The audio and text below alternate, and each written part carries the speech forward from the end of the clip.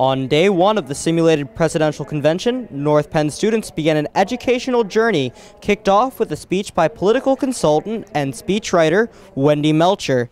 We need to look at issues and think how does it affect America as a whole and the world? It's a global economy. And another speech by Principal Todd Bauer.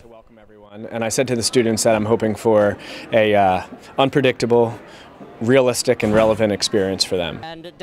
Social studies teacher and event coordinator Mr. Haley had a lot to offer in regards to the convention and political process.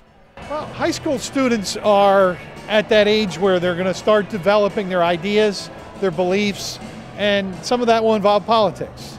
So an event like this gives them a hands-on hands-on opportunity to learn how it works and learn how they can be more engaged in politics and be a more responsible, informed, and active citizen.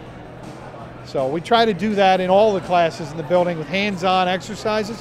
This is just a hands-on exercise on steroids. And it was encouraging to see student leaders like J.T. Mosserat and Katie Solomon show their enthusiasm. Really missed out. Uh, this is something that you will use for your entire life.